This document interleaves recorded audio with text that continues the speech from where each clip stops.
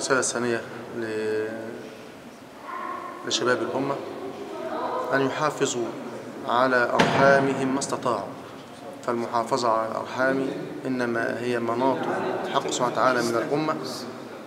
في شهر رمضان المبارك أن يحافظوا على صلة أرحامهم. فقد قال صلى الله عليه وسلم إن ملائكة الرحمة لا تنزل على قوم بينهم قاطع رحم. وقال صلى الله عليه وسلم إن, ملا- إن أبواب السماوات مغلقة دون قاطع الرحم فلا يصعد له دعاء ولا يصعد له, ولا يصعد له عمل.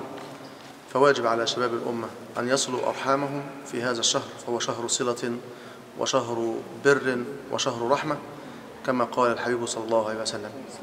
فواجب على الأمة من منطلق هذا المسجد آه، في شهر رمضان أن يصلوا أرحامهم ويتعاونوا على البر والتقوى.